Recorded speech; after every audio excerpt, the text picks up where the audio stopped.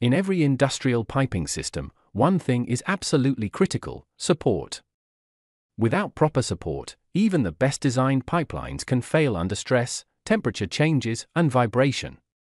In this video, we'll explore 12 of the most commonly used pipe supports, from simple shoes and saddles to engineered spring hangers and trunnions. Whether you're a piping engineer, fabricator, or student in mechanical design, this quick guide will help you understand where and why each support type is used. So let's get started with the first type, the pipe shoe support. Shoe support. Pipe shoes are used to support the pipe, above ground, or steel structures. They allow horizontal movement, due to thermal expansion, and prevent direct contact between the pipe and support structure. Saddle support. Saddle supports cradle the bottom half of the pipe like a seat. Common in horizontal vessels or large pipelines to distribute the load and reduce stress concentration. Clamp support. Clamps grip the pipe and are usually bolted to structures. They can be rigid or allow movement, depending on design.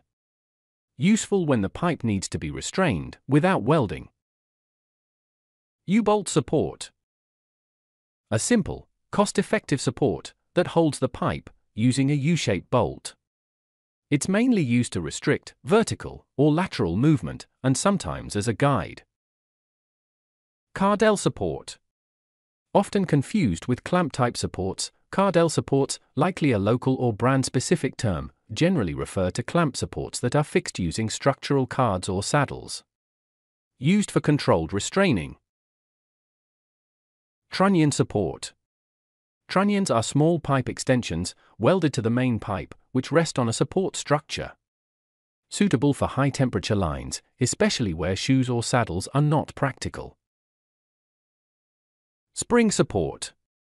Used when vertical movement due to thermal expansion is expected. Spring supports carry the pipe's weight while allowing it to move up or down as needed. Hanger support. These are suspended from structures above and used for vertical pipelines or sloped runs. They support the pipe from the top, often with rods and clamps. Pipe guide. Guides restrict the pipe's lateral movement, but allow axial movement. They ensure the pipe stays aligned and moves in a straight path during thermal expansion. Limit stop or limit support.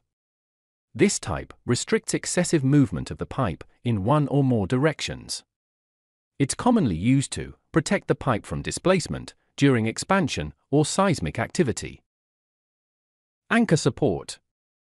Anchors completely restrict movement in all directions of vertical, horizontal, and axial. These are fixed points in the piping system and take major load forces. Special pipe support.